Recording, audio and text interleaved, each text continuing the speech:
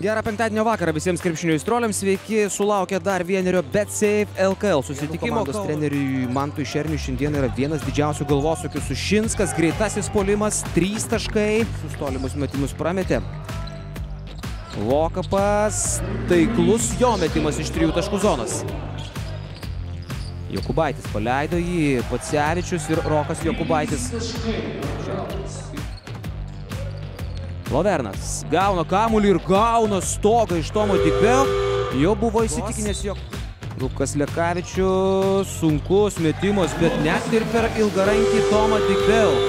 Lukas Lekavičius, atidžiai Lukas Lekavičius Dominika Domarka, žinodamas šio žaidėjo galimybės mesti tritaškius ir čia Dominikas sužaidus 2,5 minutės ir Kauno Žalgirio komanda antrą kartą šio Grigonių yra toje teritorijoje, o čia Gebenas užsižiopsojo ir Dimša gauna rezultatą.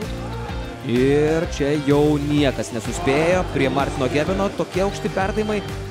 Ir tam ir yra treniruotės, o Manulio Komtas gražiai komunikuoja su Martinu Pacevičiu. Komandos draugus atsarginių suolas prienų pusėje gintis dar aktyviau. Grigonis įleidžia pirmą tritaškį metimą. Kaip akcentavo Nikola Vasilievas gynyba prieš Paulių Jankūną. Koks staigus Sargiūno tritaškis metimas. Ir atsakymas tik be netidus. O prieš Roką Jokubaitį toks negali būti.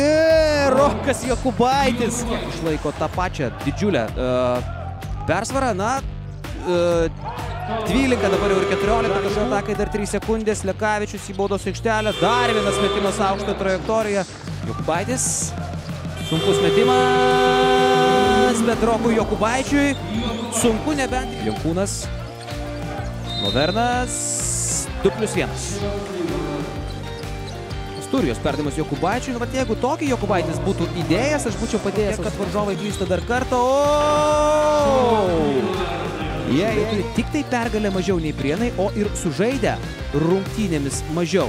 Einaras Tubutis taškų nepelno, Pacevičius tai padaro 90-62, toks jau ir galutinis šių rungtynių rezultatas. Taigi dar grįžtant šiek tiek prie to, kas netrukus vyks, iš tikrųjų vyks labai įdomus dalykai. A, rytoj, e, rytoj Utenos Juventus komanda žaidžia su Kedainių nevėžiu, na, Uteniškiai jau prisivirė košės ir jiems atėjo laikas iškovoti pergalės ir nenurašyta, aišku, jokių